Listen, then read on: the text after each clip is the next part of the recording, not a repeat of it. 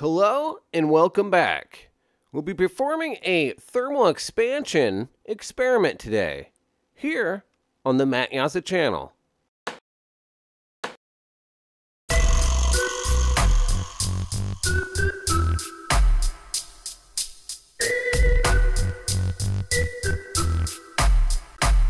Before we can do our experiment, I'll have to create the apparatus. I'll begin heating my borosilicate tubing until it begins to glow, and then I can start to bend it into shape. And now, a lot of glass workers actually prefer to attach a rubber hose to the end of the tube, which allows you to puff into it to keep the walls from collapsing as it loses pressure from thermal expansion. Thermal expansion happens to every material the glass, the air inside and out, and even the metal in the torch I'm using. As the molecules pick up the heat, the energy, it transfers it into a sort of kinetic vibration, kind of like a dance of molecules. And so, with more heat, you get more molecular movement, which makes the molecules space out farther, causing the object itself to grow in size. And now, in physics, a lot of phenomena can be reversed if the circumstances go the other direction. So, if a material expands as it gains heat, it therefore should contract as it loses heat. And that is what we'll be testing out here today. This smaller loop will be at the top of the apparatus and full of air, while the larger loop will be at the bottom and full of water. I'll use a capillary candle to apply a little bit of heat to the top loop, and we'll see if that causes the air to expand, pushing on the liquid in the bottom. It's actually very similar to a thermometer. However, we're not measuring the expansion of the liquid as a whole, but the expansion of the air which is trapped behind the liquid.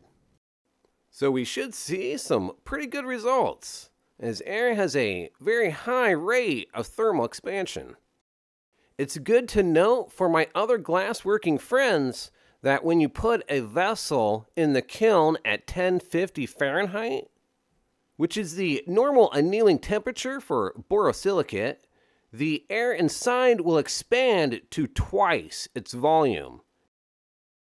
And so, when you remove it from the kiln, the air density in the vessel will be half of what it was, or half of what it will be at room temperature. So, as it cools down, it will actually suck in air.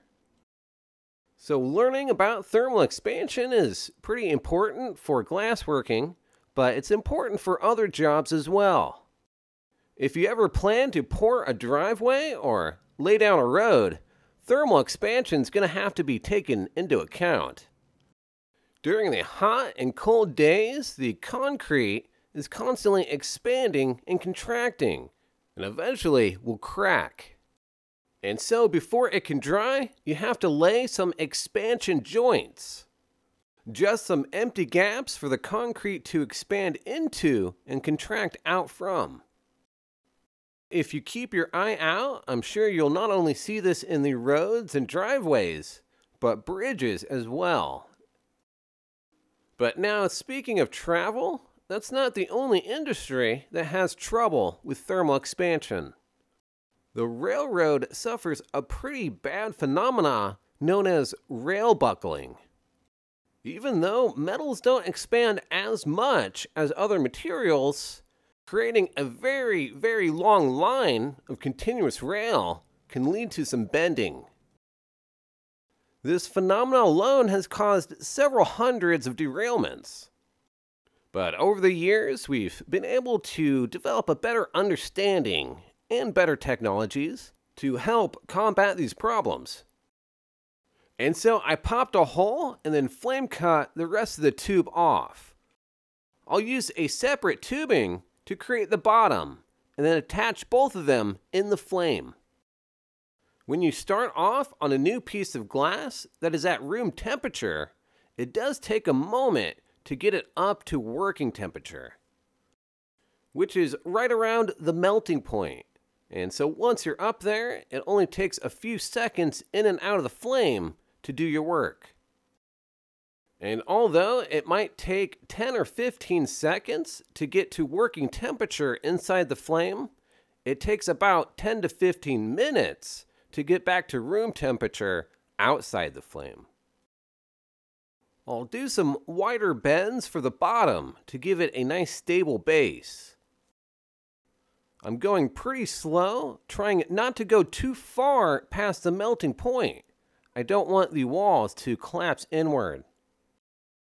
Doing bends like these isn't too difficult. It does take a little bit of practice. I would recommend practicing on solid glass chain first.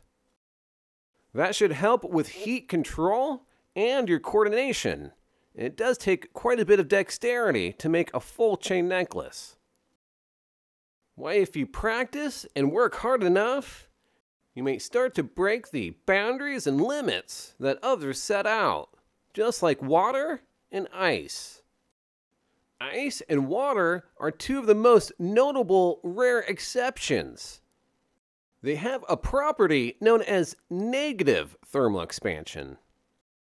For a brief range of temperature, they'll actually inverse the phenomena and begin to contract with heat or expand as it cools. And now the current explanation is a little complicated. As the water is cooling and contracts, it brings the molecules physically closer together. This causes the water to increase in density until 4 degrees Celsius, at which point the hydrogen in the water begins forming bonds with neighboring molecules. This creates a slightly empty hexagonal lattice of molecules called ice with enough intermolecular force to resist compression. And because of all of that phenomena, we have ice that floats. Which is actually quite strange, according to thermal expansion, as colder objects become more dense, and denser objects aren't as buoyant. And so, for example, solid iron wouldn't float on top of molten iron. The solid piece would just sink to the bottom. And now I'll attach both sections together. I want to use a lot of heat on both ends and align it in the flame. It ended up a little bit off center, and so I'm going to heat it back up and try to twist it about 15 degrees to the left. And now that I have both sections connected, I'll let it cool for just a moment and then come back to melt out the seam. I only want to heat one third of the seam at a time. The other two thirds will support the weight of the second tube, along with helping keep the walls from collapsing. I also need to give it a slight puff to move the glass around in order to even it out. I might have to go around more than once as well and so I might heat and puff it out about six or nine times. But this should leave me with a very smooth channel. Ideally, it should look close to a normal tube, as if it wasn't connected at all. I'll make sure it can stand upright, and then I'll anneal it in the kiln for about a half an hour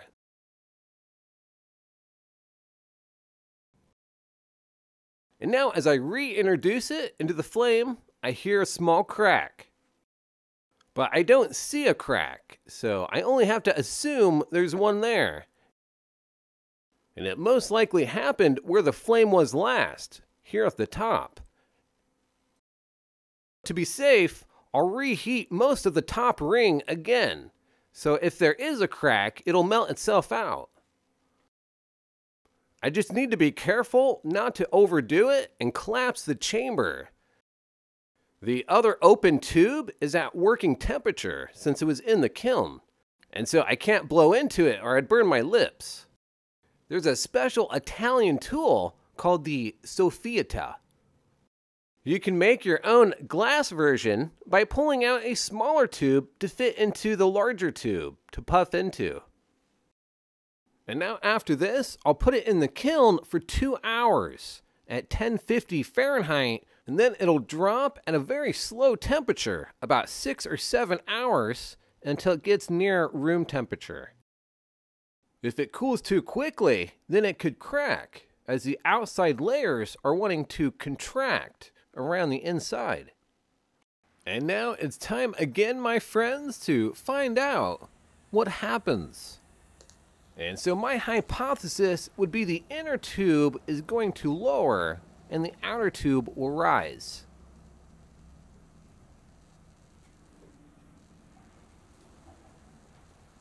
Oh, and there it goes. It seems to be reacting like I guessed.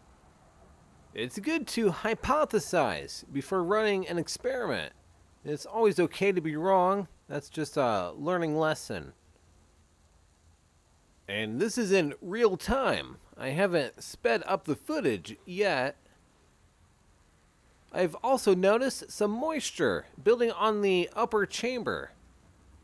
It's too bad we can't see the air, but we can see the liquid getting pushed down pretty quickly too.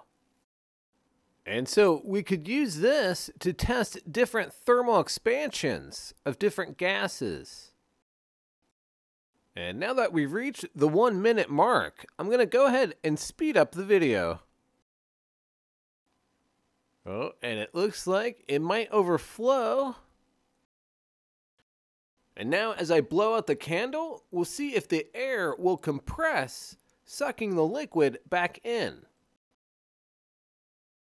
Oh, look at that. I think it's going up the tube. The air is compressing and sucking the liquid up. Very cool. And now we've reached the end of Thermo Expando. I hope you've enjoyed this episode, but don't forget